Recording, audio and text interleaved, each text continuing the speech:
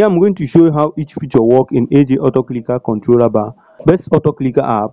Now the first step is to bring out the controller bar. To bring out the controller bar what you do is just click on this start icon. Here select the feature you will use here. The clicking feature you will use just click on it and then click on this start here. Now here as you can see you can see the auto clicker bar. Now here now how each feature work? Now here you can drag the control bar here. Now here is to make this clicker icon click here. Just put it where you want it to click. And then click on display icon. As you can see it is clicking. Now this eye icon here is to make this clicker invisible. Or to hide this clicker icon here. Now to hide it while clicking first click on this eye icon. Then click on display icon it is clicking while invisible. Now to unhide it just click on this display icon again and then click on this eye icon. You can see the clicker icon is visible. This is called target icon. The target icon has come out. You see it?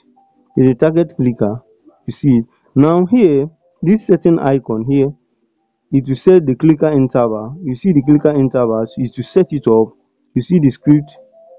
Now to save the clicker interval just click on this save icon while after setting it now to make this controller back short just click on this icon here this different arrow facing direction icon here just click on it. You see it is shorten the controller bar see it? Now to make it large again just click on it again. Now you see it? And to go back home this icon home icon is used to instantly go back to this AG auto clicker app. You see? Now in order to shorten it and remove this controller bar what you do now is just click on this different facing arrow icon here. Just click on it and then click on this cancel icon to remove the controller bar. You see it i've removed it. That's how each feature work in AG auto clicker controller bar. So if you found this video helpful give us a thumbs up like subscribe and click on the bell icon for more tech tutorial and also if you have any question leave it at the comment section. Here watch this video on the screen in order to know everything about this best auto clicker application called AG auto clicker now thank you for watching. See you on the next video. Peace